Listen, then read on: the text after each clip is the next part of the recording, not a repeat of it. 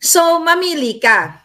Ilalaglag mo ang kapatid mong bangag o ikaw ang ilalaglag ng taong bayan kasama ang kapatid mong bangag at buo. So, dapat kasi hindi makikialam si Lisa Tanas. Pero, na-denggoy sila ni Lisa. Alam para sa akin, walang masama kung si Lisa ang talagang nagdidesisyon in terms of ganito. Kung ang desisyon niya ay para sa kabutihan ninyo. Ito nga mga kababayan, bago natin ituloy ang video na ito, kung bago ka lang sa aking YouTube channel baka pwede makahingi ng like at subscribe at click mo na rin ang notification bell para updated ka sa aking nilalabas na bagong video. Salamat po. Mga kababayan, kasi may mga bagay-bagay na hindi nyo alam at yung iba alam ko. Alright? Ganito. Ang gusto ko, narinig mo to, Senator Amy, nababasa mo naman, okay, na uh, nababasa mo naman yung sentimiento ng tao. Alright? So, mamili ka. Ilalaglag mo ang kapatid mong bangag o ikaw ang ilalaglag ng taong bayan kasama ang kapatid mong bangag at buong pamilya mo. Kasi, nung kinampanya mo, okay, nung niligawan mo si Inday, when I say ligawan, di ba, kinuha nyo yung kanyang uh, puso para magtandem kay Kuting. Alam mo na ito po yung nakarating sa akin. Ganito kasi yan. I don't know kung naikwento ko ito. Pero ikwento na natin kasi total, tuloy-tuloy na ito. Ganito kasi yan mga palangga ayon sa ating puting ahas. Ang mangyayari kasi ganito, dapat ang magpapatakbo ng gobyerno, 'di ba? Si Kuting ang mananalo, si Inday ang vice president. Si Amy ang magiging kumbaga pinaka-alter ego ng kanyang kapatid. Maganda naman 'yun kung 'yun ay para sa Pilipino. 'Yun po ang naging usapan diyan. Kaya si Inday napapayag na makipag tandem kay Bangag Jr. dahil sa kanilang mga usapan ayon sa puting ahas na pabubutihin nila, gagawin nila yung pagbangon at unity team. Yun talaga, in fairness, yun po yung intention. Alam ko yan before pa. Na, hindi ko alam kung nakwento ko na to o baka ngayon ko lang o baka bangag lang ako ngayong araw na to dahil sa kaka-edit ng picture. anyway, so yan po yan. So dapat kasi hindi makikialam si Lisa Tanas. Pero, na-denggoy sila ni Liza.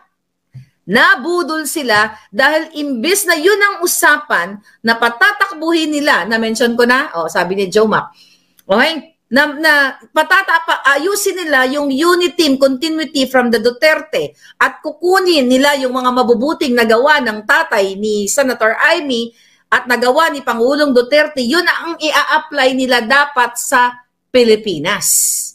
Okay? Yun ang sinasabi at si Kuting at you know, siya yung magiging ang advisor niya is si Aimee. Wala namang masama na mag-advise. Alam mo wala namang masama kung si Lisa ang ano eh, yung advisor ni Marcos Jr. eh. Kung para sa tama yung kanyang advisor. Alam mo para sa akin, walang masama kung si Lisa ang talagang nagdidesisyon in terms of ganito, kung ang desisyon niya ay para sa kabutihan ninyo. Alright? So yan yan. Ngayon mga kababayan, kaso lang tinraidor sila ni Lisa, di ba natala ninyo, even itong si Senator Amy ay nagre-request ng helicopter para sa kanyang charity, hinaharang ni Lisa kasi insecure nga siya. Si Amy mismo nagsabi niyan sa akin, through text messages sa Viber in 2022 na insecure si Lisa sa kanya. Talagang meron silang hidwaan na ganun. But, ito lang ang sa akin. Okay? Ang dami nang sinabi ni, Sen- ni Senator Amy na Oh, yung ang kapatid ko, 'di ba? Nagdasal pa doon kay kay ano kay uh, brother Joey Villanueva. Sabi ganoon, "Oh, uh, hipuin niyo po ang kapatid ko na siya ay uh, napapaligiran ng demonyo, ganyan ganyan, 'di ba? So galit yung taong bayan, galit kayo. Okay? O sabi ni ano ni Rosalita, I agree, okay lang si Lisa for good para sa ta- uh, to all of us, pero sarili niya inunan niya. Exactly. Kasi kaya nga may mga cabinet secretary si Marcos Jr. o ang presidente, hindi lang naman siya ang nag-iisip sa lahat ng bagay. Kaya nga tignan ninyo, kaya may mga cabinet kasi hindi naman si Marcos Jr. ang decision magdedesisyon at, at yun yung mga mga uh, what you call it, yung mga uh, sa kanya mga papeles, whatever, kung ano man yun, ay naisala na ng kanyang cabinet secretary. So wala akong problema sa akin talaga kung si Amy ang kanyang alter ego, kung si Lisa o sinong demonyo, as long as for the people. Kaso lang, mga kababayan, ito ngayon ang challenge natin kay Senator Amy. Tama kayo, nabudol niya tayo. Pero pwede niyang i-redeem ang sarili niya. Okay? Hanggang June 30 na lang. Okay? Pwede niyang i-redeem o before June 30 kasi, di ba kayo ay hingi ng hingi. Mahali ka, nasa na yung video, video, video, ganyan. Actually, alam ni Senator Amy kung kanino yon o kung sino-sino may hawak nun. Pwede ko sabihin yun sa inyo pero hindi ngayon. may sumisit-sit. Parang sitsaritan. Alright? So mga, mga kababayan, eto yan. Okay? Kaya, Senator Amy, kung naha, naririnig ka, kung totoo itong sinasabi mo, mamili ka. Ilalaglag mo ang adik mong kapatid o kasama ka sa paglaglag, kasama ang taong bayan na ibabalusok namin kayo sa kumunoy.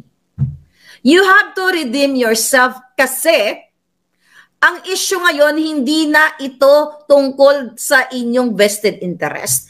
If you love your people, na sinasabi mo, nagkakagulo na sa South China Sea.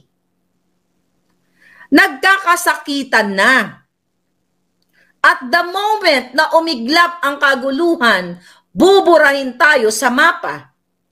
Kung hahayaan mo Senator Amy, natikisin dahil sa dugo na nanalaitay sa iyo dahil kapatid mo over sa 100 something million Filipinos. Sabi ko nga sa inyo mga kababayan, 'di ba? Let's talk about timeline. Kasi we all know that they're waiting for June 30th, maka 2 years si Inday. Okay, fine. Pagbigyan natin. Number one, ang laki ng kasalanan ni Senator Amy sa bayan nang pinatakbo niya si Marcos Jr. na ito ay addictus benedictus. Ulitin ko, Senator Amy, harapan, alam mo na lumuhod ka kay Pangulong Duterte, maraming nakakita noon, nung ikaw ay nakiusap na wag nang isama si Kuting sa uh, narco, narco list kasi baka pwede mong kausapin na magbagong buhay. Pero hindi, nagkamali ka, nabudol din si Pangulong Duterte. Simula nung lumalaki si Marcos Jr., alam mo na addict siya. At alam mo din, alam ng mga kamag-anak mo, na galit na galit din ngayon sa kay Marcos Jr. Kaya, you know, uh, alam naman natin, lahat tayo ngayon buisit sa pangalang Marcos, di ba? Pero in fairness, may mga Marcos na galit na galit din. Okay, sa father side ni Bangag Jr. dahil sa ginagawa niya for your information. So ngayon, Senator Amy, alam na alam mo na si Marcos Jr., ang kapatid mo, ay walang kwentang anak. Di ba nakalagay nga yan sa diary ni uh, ni uh, ah, PRR, no, PRRD, ni Marcos Sr., ng pinaka-problema niya, pin- pinos ni Sandra ng uh, Maisog, Canada, uh, ng Vancouver. Nakita ko yon na ang pinaka-worry nila, yung kanyang anak na si Bangag na adikto na lazy. I think yun yun. Comment ka nga dyan. Ko na dyan ka. Ano eksaktong comment dyan? So anyway, alam na alam mo, Senator Amy, na nung tagumatayon ng tatay mo, yun no, tagumatayon, nasa deathbed siya, dying na siya, hinagilap mo pa o hinagilap niyo pa si Marcos Jr. kasi para siyang kangkarot na pakalat-kalat dahil addictus benedictus nasa barkada, bangag na bangag at last few minutes ng binawi bago bawian ang tatay ang ang iyong ama, ang inyong uh, yeah, ang iyong ama, doon lang siya dumating. hinanap nyo pa. Hindi mo pwede pa sinungalingan yan.